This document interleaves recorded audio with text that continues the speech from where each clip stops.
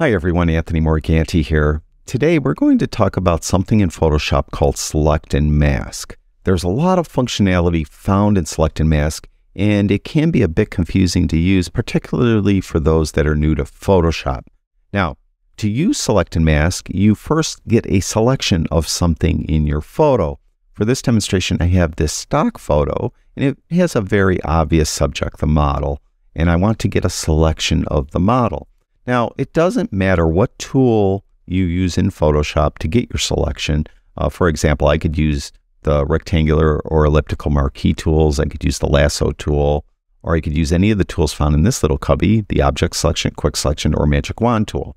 The advantage of using one of these tools when you have a very well-defined subject that you're selecting is you have a conveniently located select subject button up here. So I don't even have to use the tool. I could just click this button.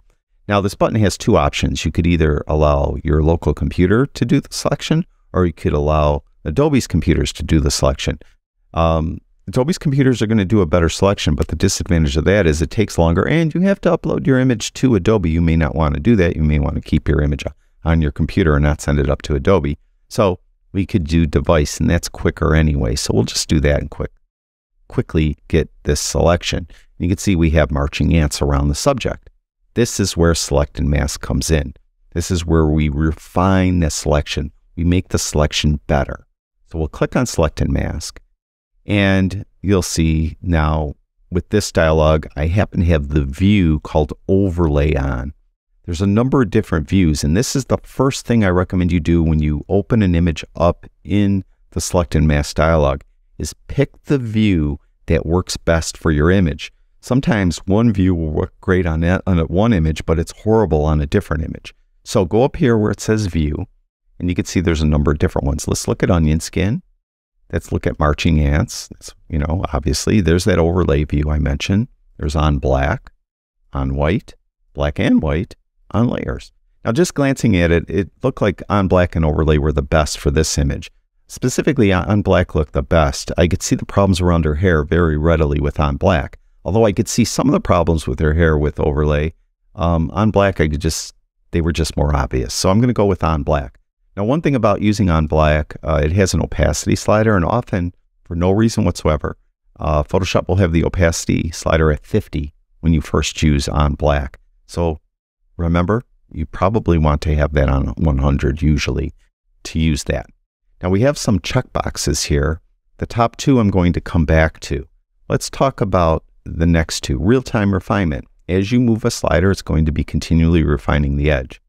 Um, if you have a slow computer, this may bog down your computer or cause it to lock up. That happens, uncheck that box. Also, high quality preview uses quite a bit of computer resources to give you a high quality preview find this is running really slow, causing your computer to lock up, uncheck that box as well. Now, next we have presets. Actually, this is like selection presets. If you do a selection and it was the best selection in the world you've ever done, and you always take similar images that would require similar selections, meaning these sliders are in specific positions, you could create a preset. Go to this drop down, save the preset.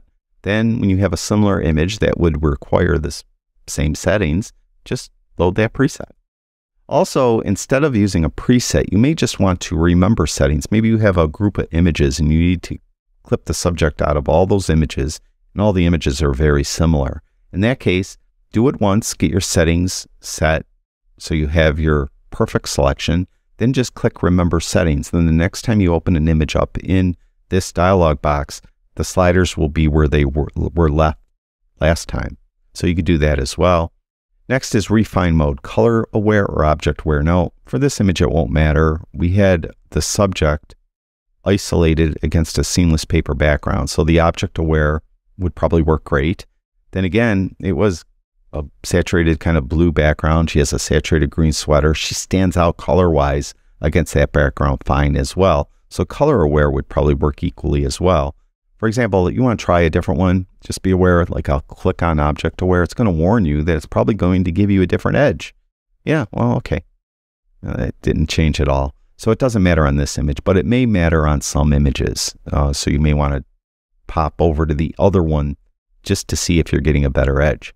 Now you got edge detection. This is where it starts to get confusing. Let's zoom in. I'm going to hit Command plus on my Mac a few times, Control plus on a PC. I'm going to move over by just dragging on my magic mouse with my finger. Um, if your mouse doesn't do that, what you could do is go over here and just click on the hand tool. Or if you just want to do it really quickly, is hold in the space bar and you'll get a hand a hand cursor, and then you could drag around. All right, looking at the edge of her sweater, it looks kind of funky, doesn't it? Going around, yeah. So what we're going to do is we're going to increase the radius. So that's where Photoshop is looking for the edge. Right now, it's just looking at the very, very edge, you know, the minimal amount. So it might be too much on the sweater or might be too much on the background. So we want to increase the radius. So let's go like way out. Well, it kind of like blurred everything. Well, it's hard to see what this does, but there is a checkbox up here at the top that will help you. Show edge. You can see keyboard shortcuts, the J key. When I turn that on, all we see is the edge. Now, the idea here is you want to have this as thin as possible, but still encapsulate the edge, meaning you want as little green in this case and a little blue showing as you can. Now, there's no exact setting most of the time here because the edge varies greatly all the way around our subject, around her, the model. And her, her hand is going to be slightly different than like her sweater, and her hair is definitely going to be different, right? So you just want a happy kind of medium. So just pull it down like three. Three looks pretty good. We still have some blue showing, some green showing here, but you can move around. Her hair is still going to be messy. We have to come back to the hair. Lots of blue around the hair. But you can see it's probably as good as it could be around three. I'm going to fit this to screen by hitting Command 0 on my Mac, Control 0 on a PC. So we see a lot of blue around her hair, some green at the top of her hand, blue at the bottom of her hand. I mean, there's no exact setting. Now, what you may find is if you, at this point, click Smart Radius, it will give you a more uniform edge around the different edges. Like one edge is a sweater, the other edge is a hand, the other edge is her hair. It may help. I found it usually doesn't help. We're going to click on that. It didn't change at all. So sometimes that helps though. So be aware of that. I'll just leave it on for the heck of it. We're going to turn off show edge so we see our selection. All right, we still have some work to do here. Now we have these other sliders. Let's zoom again, zoom in again, hit Command plus a few times. Let's look at the top of our hand. You can see it. Oh, it looks really funky, doesn't it? All right, let's go to smooth. Now smooth uses a lot of computer power. So when I move this to the right, it's going to take a second or three to kick in. So I'm going to move it to the far right. You can see the cursor's this leftward facing arrow. That means it hasn't kicked in yet. So you just got to keep waiting till that cursor turns into the brush. There it is. See how it's smooth though? Did a really nice job. Here, let's go to before after. To get a before after, you could go right here. Show original. Just check that on. There we go. Takes a while to kick in sometimes too. It's not letting me do it. Sometimes it doesn't let you do it for some functionality, so it just won't let us do it here. So there's before, and now I'll do it again. There's after, and let it kick in. Let it kick in. It's taking longer this time. And there, it, it actually didn't do it. This is the weird functionality. Oh, I got show original on. There we go. That took a while to kick in. All right. Third time charm. There, there's nice and smooth there's not as smooth. All right. So that's smooth. That's pretty effective. That works well. Next is feather. Now, this is something that goes pretty high, but typically you just wanted to feather it a pixel or two. For example, put it real high, see how it's really feathering a lot? All that does is feather the edge. So usually this, you're going to want to do a pixel or two, not a lot. Just kind of blurs the edge. This works well when you're cutting something out and you're putting it in another scene. Just blurring the edge a little bit by feathering the edge sometimes helps. But in this case, you see what it does here. So that is quite um, like strong, I guess, for lack of a better term. For contrast, that just makes the edge sharper. Let me zoom way in so you could see like the palm of her hand up here. Let's go to contrast and put that to the right. There you go. So there's like See how sharp that edge is? A lot of times for product photography, we want a really sharp edge, and we'll move that over to the right. Let's see if before after works. That's the show original. There's before, there's after. There's before, and there's after. You can see how that works pretty effectively here. Smooth because that uses a lot of computer resources. That show original up there didn't work well.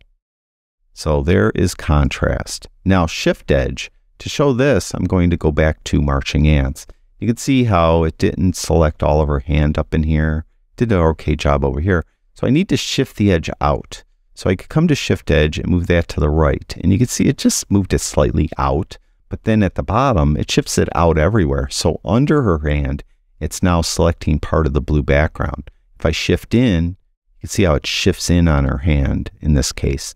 So shift edge, sometimes again with product photography, we'll just shift it in slightly and we'll lose a pixel or two of the product, but it usually gives us a nice clean edge, particularly when you use contrast a little bit, and that makes the product look better, just nice cut out with the product.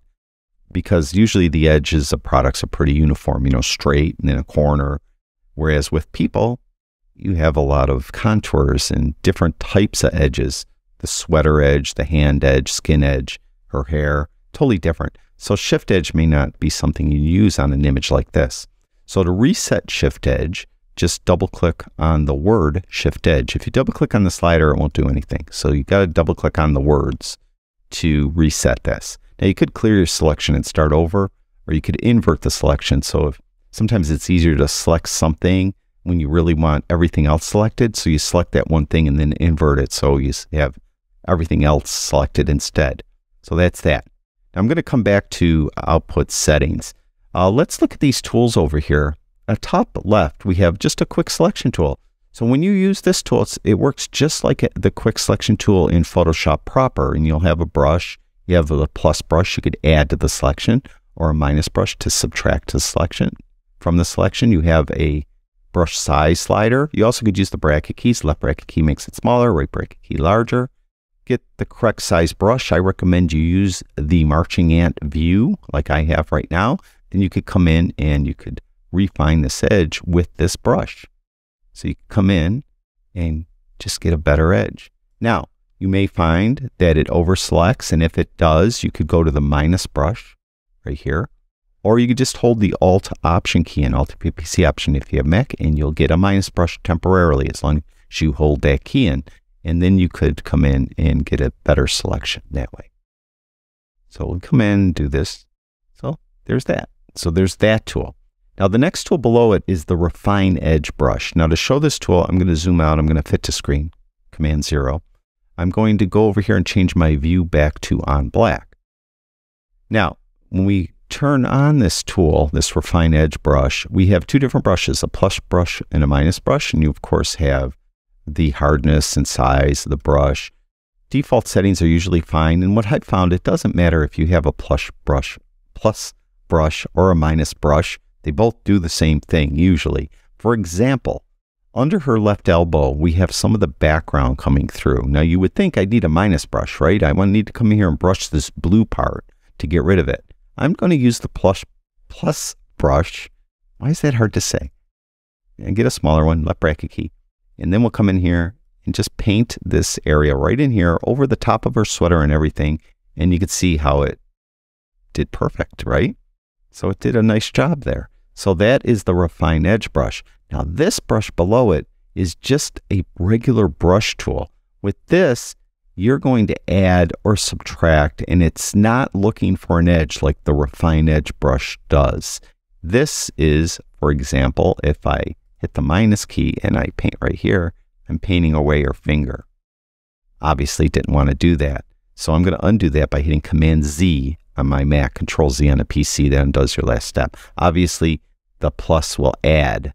So that is, you know, something you probably wouldn't use that much. Like if for some reason, let's say she was wearing a pendant, and sometimes the pendant won't be selected, you'll be seeing the background through the pendant, then you're going to want to click that, click on the brush, and then brush like right in the pendant area there, and then that will, you know, clean that up. Now we have an object selection tool. This is the same thing that's in Photoshop proper. With this, you just draw like a rectangle or square over the object you want selected. Here we don't need to do it. Below that is the lasso tool. And if we long press, you could see that there's another tool there, polygonal lasso tool. So you could use that to get a selection of something in the image. Then we have the hand tool. We talked about that. And we have a magnifier so you could zoom in.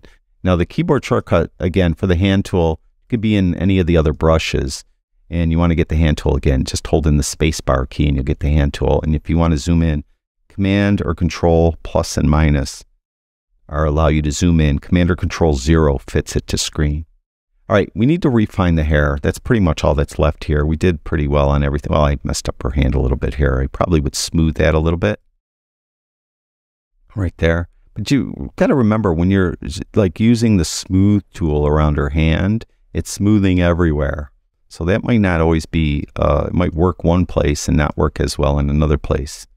Let's feather the edge a little bit there. It jumped to a different view temporarily. Not sure why it did that. But anyway, that's that. Now what we could do is we could get the refine edge brush and we could come in here and just refine this edge like that. See if that helps. Yeah, that looks pretty good. All right, let's do our hair. We have a button up here, refine hair. Sometimes this works, sometimes it works a little bit, and sometimes it makes it worse. So let's click here and let it kick in. And it changed whether or not it worked here. The only way you could undo this is by undoing your last step. Again, that's Command or Control Z as in zebra. And there's that. Yeah, it did help. So we'll turn it on again. We'll click Refine Hair. Okay, we still need to fix this hair. So we're going to use the Refine Edge brush. I'm going to get a slightly bigger brush by hitting the right bracket key. And I'm going to come in here and just brush around her hair like this, like this. And then let go. And it takes a while to render. It didn't really do too much. See what it does over here.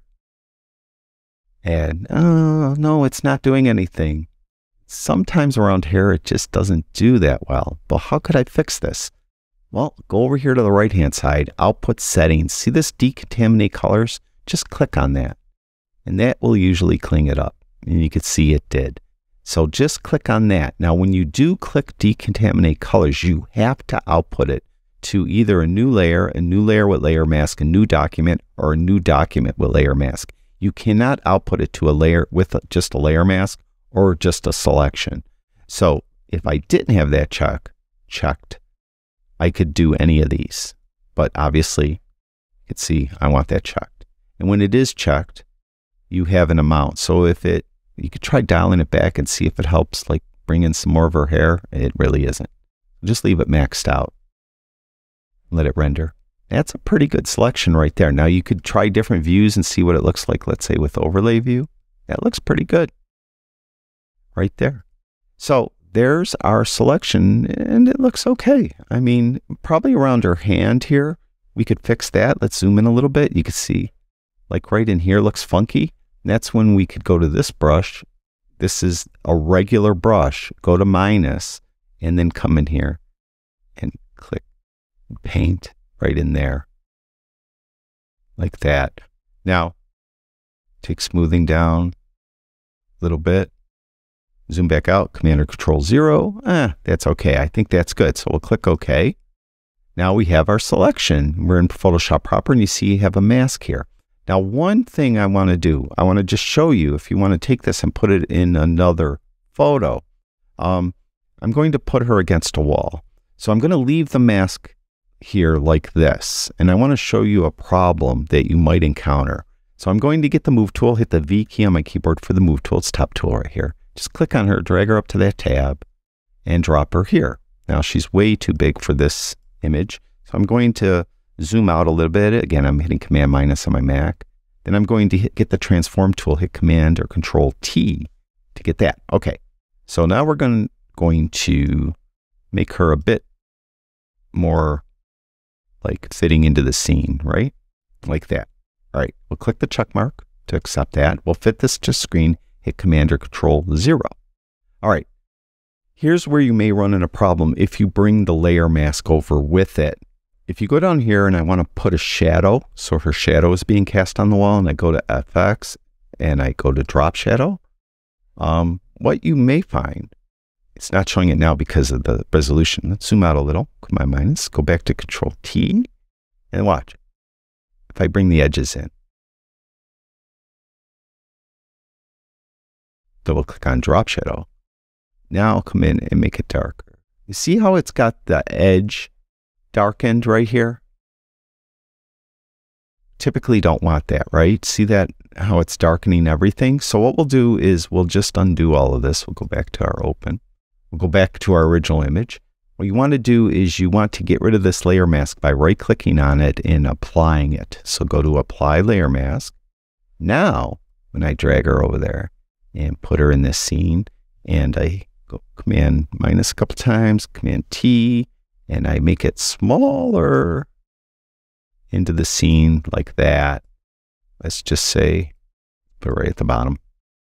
And then command zero to fit it to screen. And then I go and I add that shadow. I won't get that frame all around like I had before. See, it's just putting the shadow behind her. So there's that. I just wanted to show you that because you might run into that when you do your compositing. It really has nothing to do with select a mask, but I wanted to show you that. So there is our selection. Now, very quickly, let's go back to the original image. There is another selection refinement tool in Photoshop that is older, and some photographers prefer to use it. It's hidden though. It's not something you could find that readily. Let's get a selection here. Select subject, so we get our marching ants. To get to that older style refinement tool, go up to select, where it says select and mask, hold in the shift key and select that, and you get this old refine edge dialog. A lot of photographers prefer to use this. It has a lot of the same sliders as the select and mask dialog, and it has this similar output output too, but it's just the older technology and some people prefer to use this. So I thought I'd show it to you because every now and then I get an email from people asking me if they if this was still in Photoshop, they prefer to use it. So there is that. And that's it. That is select and mask in Photoshop. Thank you everyone who watches my videos. I really do appreciate it. Talk to you guys soon.